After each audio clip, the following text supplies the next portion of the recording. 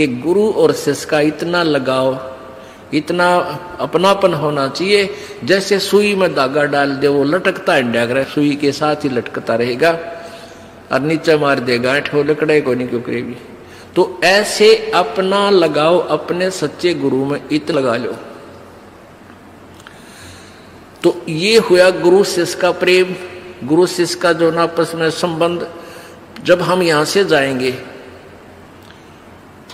तो आपकी यहाँ से मृत्यु होगी तो आपको गुरुजी ही इतना लगाव होना चाहिए गुरुदेव में कि हमने जो कुछ नहीं चाहिए। परमात्मा गुरुजी आज्ञा पाओ मेरे तो वो फिर ऐसे आप सीधे वहीं पहुँच जाओगे जहाँ आशा था वासा हुई। तो अब जैसे गुरु और शिष्य का ऐसे लगाव होना चाहिए, जो सुई में डोरा रे। तो ऐसे कहा कि फिर शब्द शब्द गुरु चित चेला रे।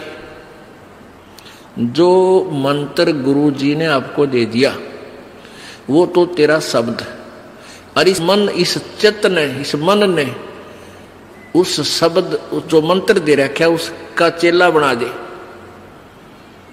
इस मन को, उस मंत्र का, इस सुरत शब्द सुरत शब्द समावे।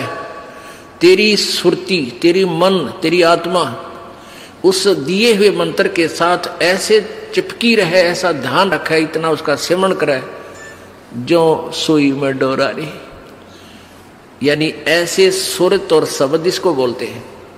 जो गुरुजी ने मंत्र आप दिया है, उसके साथ इस मन को इतना जोड़ दे, जैसे गुरु और चेले का प्यार हो।